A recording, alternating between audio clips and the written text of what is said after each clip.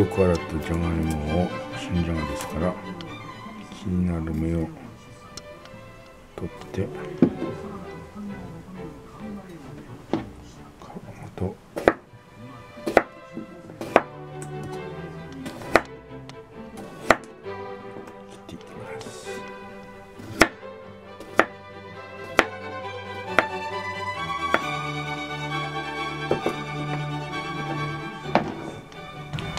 さ。あじゃあ皮ごと切ったじゃがいもを熱湯に入れます。で約、えー、片茹でですから10分ぐらいでね。さあにんにくを。にんにくの芽を取っちゃいます。そして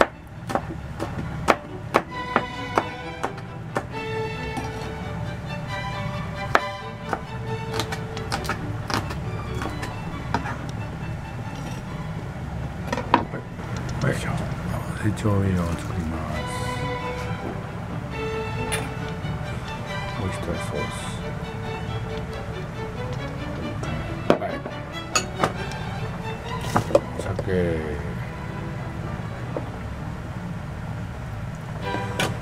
醤油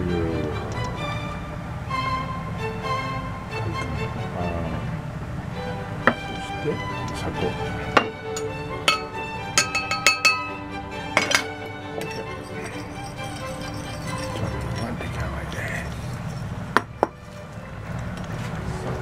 片茹でのじゃがいもが2皮が入っていますけど関係ありませんさあ油を少し入れてにんにくの匂い出しをしますから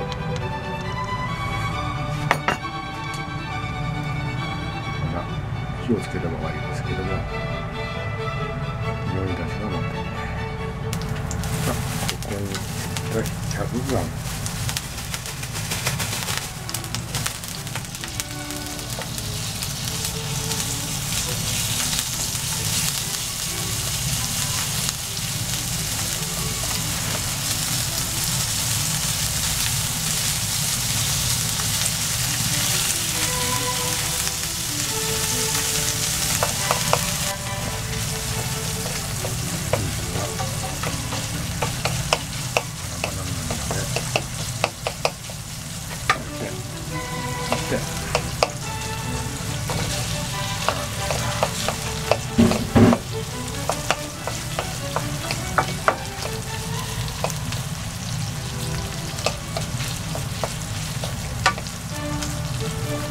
さ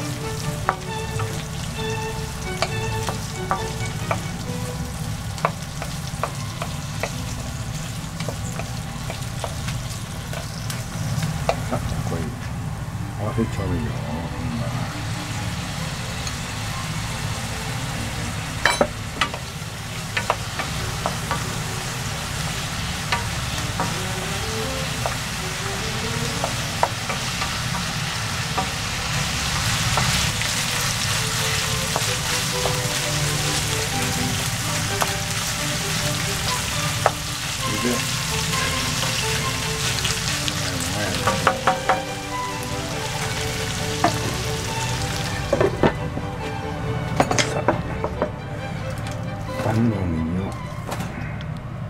斜め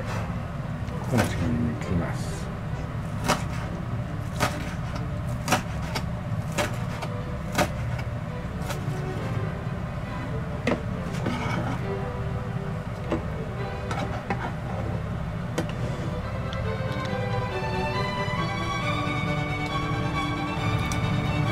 これを盛り付けの後に乗せて完成です。